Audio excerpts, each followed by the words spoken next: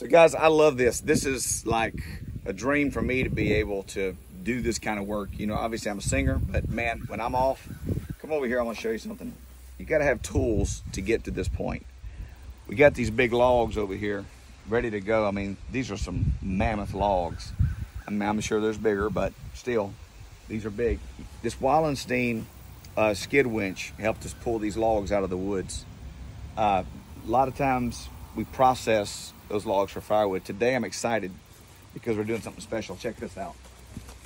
We got a buddy here down the road that just brought over his Wood-Mizer um, uh, bandsaw, and we're to saw these logs into boards that I'm to use to repair fence. You can see we got a lot of fence here that we've been repairing.